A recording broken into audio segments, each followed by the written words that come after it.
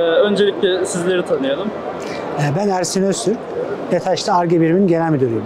Ee, şimdi Sahexpo 2020 Türkiye'nin ve dünyanın en büyük savunma sanayi fuarlarından biri. Bununla ilgili öncelikle değerlendirme alabilir miyiz sizlerden? Evet. E, fuar çok hızlı başladı, yoğun geçiyor. E, Saha Expo, İDEF'le birlikte Türkiye'nin savunma sanayindeki en büyük iki fuarı. E, geçmiş yıllarda İDEF'te de e, oldukça yoğun bir misafir e, kısmı ağırlamıştık.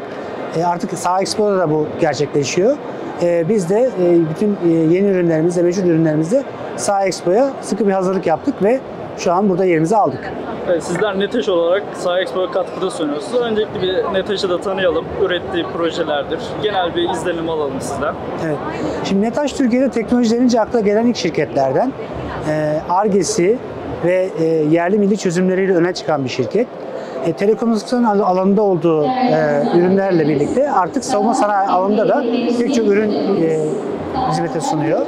Bunların başında yine haberleşme, dost düşman tanıma, navigasyon sistemleri geliyor. E, önümüzdeki günlerde e, kara ve deniz platformlarındaki bu yetkinlikleri Netaş e, hava platformları içinde kullanıma sunmayı planlıyor. E, bu konuda da kapsamlı projelerimiz başladı. Peki bu projeleri detaylıca açıklayabilir misiniz? Ee, herhangi bir çalışma şu an somutta mevcut mu yoksa planlanmakta mı? Türkiye'nin helikopter, uçak, e, insansız hava araçları alanında pek çok e, milli projesi devam ediyor. Netaş da bu projelere sahip olduğu yetkinlikler çerçevesinde ürün geliştirme yaparak katkıda sunuyor. Bütün bu programların hepsine Netaş olarak yer alıyoruz. E, Ar-Ge'mizle ve üretim gücümüzle birlikte destek oluyoruz. Peki NETEŞ'in Türk savunma sanayisine telekomünikasyon olarak nasıl bir destek sağlıyor? Ee, yapay zeka çalışmanız bununla ilgili mevcut mu? Bununla ilgili bize kısa bir değerlendirme verir misiniz? E, NETAŞ, e, Türk Silahlı Kuvvetleri'ne e, haberleşme, dost düşman tanıma, navigasyon ve aviyonik kontrol alanlarında destek sağlıyor. Bu konuda e, uzun yıllardır geliştirdiği ürünlerle teknolojik seviye olarak en üst düzeyde e, ordumuzun ihtiyaçlarını karşılıyoruz.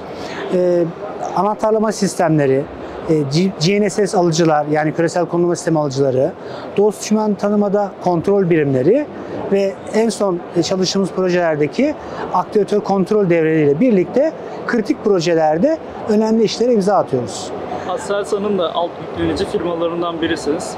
Bununla ilgili e, ürettiğiniz projeler herhangi bir Kaan olsun, F-16 projesi olsun, havacılık alanında herhangi bir üründe kullanılıyor mu? Ürettiğiniz proje. Evet, e, NETAŞ olarak e, Türk Silahlı Kuvvetleri Müşahede Vakfı'nın %15 hissesi sahip bir şirketiz. E, aynı zamanda da e, vakıf şirketleri, Aselsan, Havelsan, Roketsan ve TUSAŞ'ın da alt yüklenisi olarak projelerde görev alıyoruz. E, ana program üstleniciliği bu şirketler, vakıf şirketleri oluyor.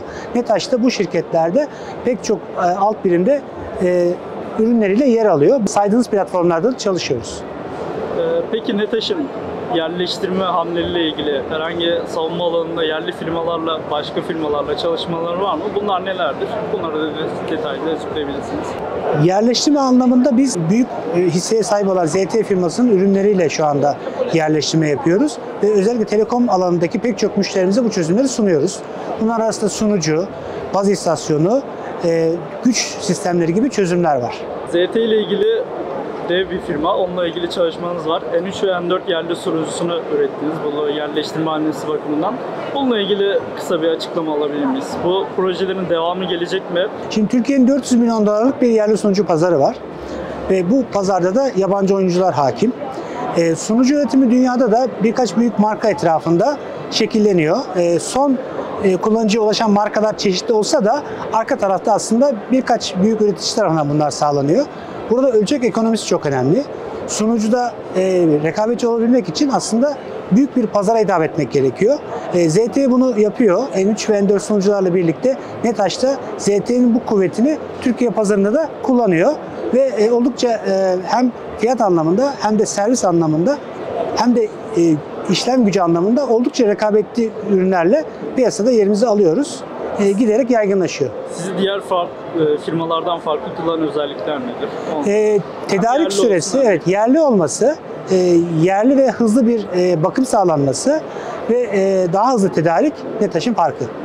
Ee, Peki 2024 yılı bitmek üzere hem 2024 yılı hedeflerinize ulaştınız mı? 2025 yılında da ve geleceğe dönük e, hedefleriniz nelerdir? Beşiktaş e, büyük bir aslında büyüme trendinde.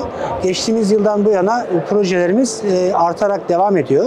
Ciro da buna paralel ilerliyor, gelişiyor ve yurt dışı pazarlara açılma noktasında da ilerlememiz oluyor. Ee, Dijital çözümlerle ilgili NETAŞ'ın da bir çalışması var. Bununla ilgili savunmaya nasıl bir farklılıklar kılıyor? Şimdi NETAŞ e, Türk Futbol Federasyonu, şehir hastaneleri, havalimanları gibi pek çok büyük projede dijital dönüşüm çözümleri sağlıyor. E, bu dijital dönüşüm çözümlerinde bazı noktalarda ARGE'de destek oluyor. Bazı noktalarda ise yurt dışı firmalarla çalışılıyor. Savunma sanayinde de artık gelişen trendde e, sensörlerin verilerinin yapay zeka ile işlendiği nesnelerin interneti kavramı öne çıkıyor. E, biz bu doğrultuda yapay zekada üretken yapay zeka üzerinde çalışmalar yapıyoruz. Sensör verilerini toplamak üzere e, business intelligence dediğimiz iş zekası çözümleri geliştiriyoruz.